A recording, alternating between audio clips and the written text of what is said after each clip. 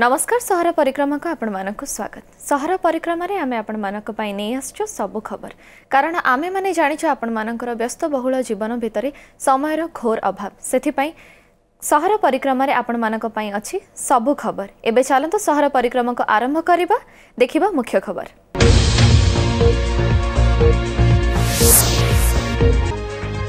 ରାଉରକେଲାଠାରେ press ଦିବସ ପାଳିତ।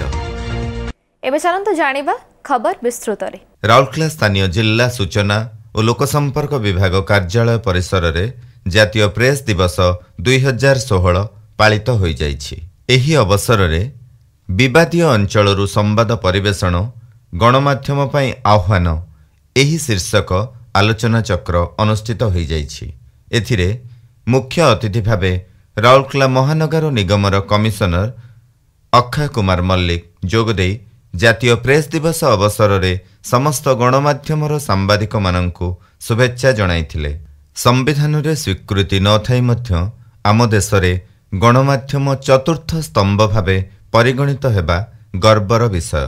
ତେଣୁ ସମ୍ବିଧାନର ତିନୋଟି ସ୍ତମ୍ଭ ଯଥା ନ୍ୟାୟପାଳିକା କାର୍ଯ୍ୟପାଳିକା ଓ ବ୍ୟବସ୍ଥାପିକା କ୍ଷେତ୍ରରେ ହୋଇଥିବା ବିଭିନ୍ନ କାର୍ଯ୍ୟକୁ ସଠିକ୍ ରୂପାୟନ କରିବା ସହିତ ଏମାନଙ୍କ କାର୍ଯ୍ୟକ୍ଷେତ୍ରରେ ହେଉଥିବା ବିଭିନ୍ନ ଅସଙ୍ଗତିକୁ ଦୂର କରି ସଠିକ୍ ମାର୍ଗଦର୍ଶନ କରିବା ଦିଗରେ ଗଣମାଧ୍ୟମ ଏକ ପ୍ରମୁଖ ଭୂମିକା ଗ୍ରହଣ କରିଥାଏ ବୋଲି ଶ୍ରୀ ମଲ୍ଲିକ କହିଥିଲେ। ତେଣୁ ଗଣମାଧ୍ୟମର ପ୍ରତିନିଧିମାନଙ୍କର ଭୂମିକା ଗୁରୁତ୍ୱପୂର୍ଣ୍ଣ ବୋଲି ସେ ଜଣାଇଥିଲେ।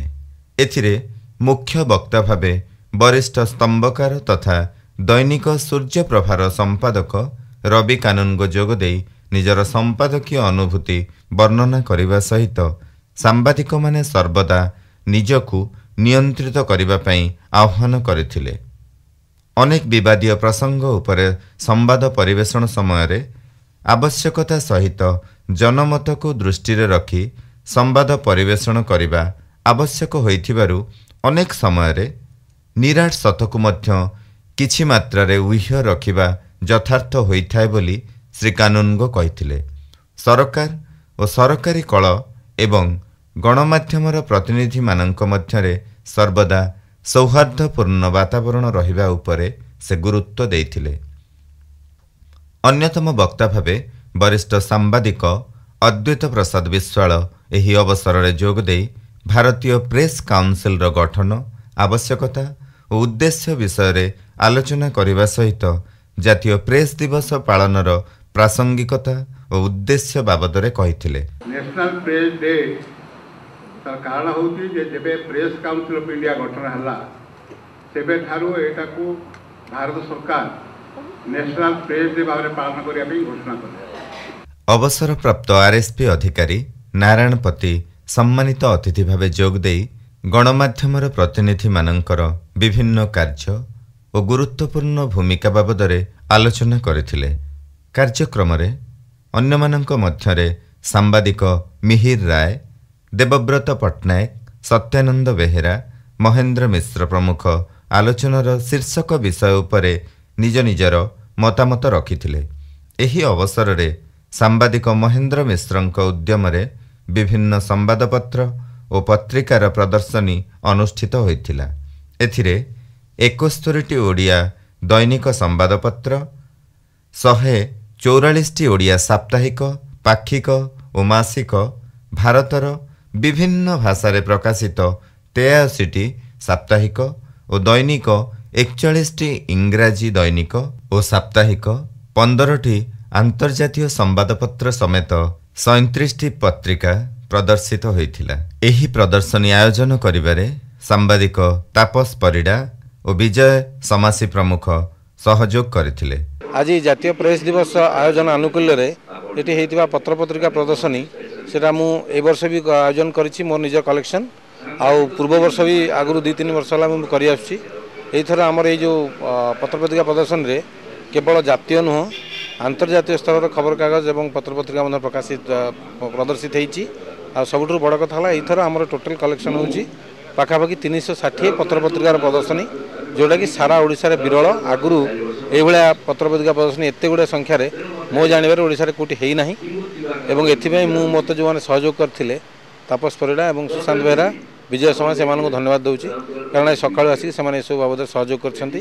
ଆଉ ଆଜି ଯେଉଁ ଆମର ପ୍ରେସ୍ ଦିବସ ଯେଉଁ ଅବସରରେ ପ୍ରେସ୍ କାଉନସିଲ୍ ଅଫ୍ ଇଣ୍ଡିଆ ତରଫରୁ ଯେଉଁ ସବଜେକ୍ଟ ଆସିଥିଲା conflict area role of media challenges ତ ଏଇ ଯେଉଁ କନଫ୍ଲିକ୍ଟ କଥା ମାନେ ଆମେ କନଫ୍ଲିକ୍ଟ ବିଷୟରେ କହିବା କନଫ୍ଲିକ୍ଟର ଅର୍ଥ ହେଲା କିଛି ଅସୁବିଧା ବା ସଂଘର୍ଷ। ତେଣୁ ଯେତେବେଳେ ବି କୌଣସି ସମସ୍ୟା ହୁଏ ସାମ୍ବାଦିକମାନଙ୍କର ସମସ୍ୟା ସେଠି ଆହୁରି ବଢ଼ିଯାଏ। ସାମ୍ବାଦିକମାନଙ୍କର ସମସ୍ୟା ସେଠି ଆହୁରି ବଢ଼ିଯାଏ। ତାର କାରଣ ସେମାନଙ୍କର କଥା ବା ସେମାନଙ୍କର ନ୍ୟୁଜ୍ ବା ସେମାନଙ୍କର ଭ୍ୟୁଜ୍କୁ ହିଁ ଲୋକମାନେ ବେଶୀ ଗୁରୁତ୍ୱ ଦେଇଥାନ୍ତି। ତେଣୁକରି ମୁଁ ଅନୁରୋଧ କରିବି ସମସ୍ତଙ୍କୁ ସମସ୍ତେ ନିଜ ନିଜର ସୀମା ଭିତରେ ରହିକି ରିପୋର୍ଟିଂ କରନ୍ତୁ ସେ ଗଣମାଧ୍ୟମରେ ହେଉ ଆପଣଙ୍କ ପ୍ରିଣ୍ଟ ମିଡ଼ିଆରେ ହେଉ ବା ଟିଭି ମିଡ଼ିଆରେ ହେଉ। ତାଦ୍ୱାରା ଯେମିତି କାହାକୁ କିଛି ଅସୁବିଧା ହେବନି ଏବଂ ଲୋକମାନେ ଭୟଭୀତ ହେବେ ନାହିଁ।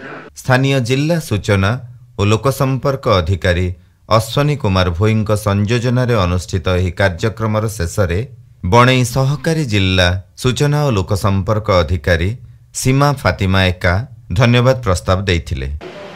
ଏଠି ଜିଲ୍ଲା ସୂଚନା ଓ ଲୋକସମ୍ପର୍କ ବିଭାଗ ତରଫରୁ ରାଜ୍ୟ ସରକାରଙ୍କ ଯେଉଁ ତାଙ୍କର ଟପିକ୍ ଅନୁସାରେ ଏଇ କାର୍ଯ୍ୟକ୍ରମ ଚାଲିଛି।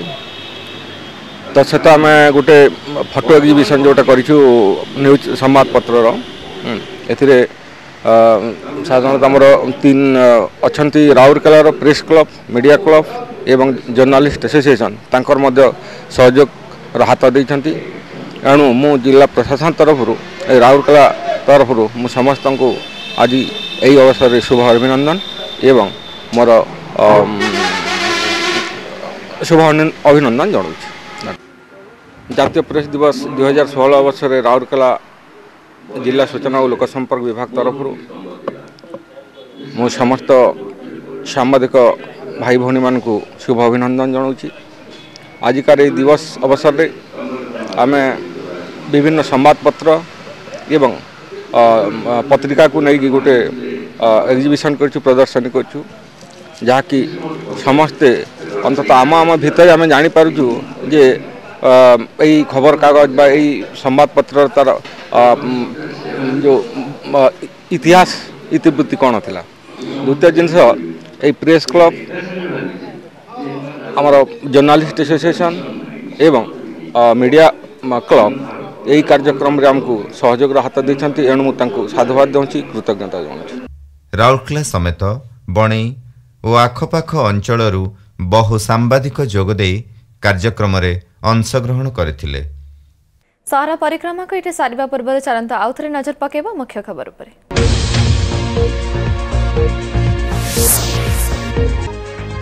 ରାଉରକେଲାଠାରେ ପ୍ରେସ୍ ଦିବସ ପାଳିତ। ସହର ପରିକ୍ରମାରେ ଆଜି ପାଇଁ ତ ଏତିକି। ରହୁଛୁ। ନମସ୍କାର।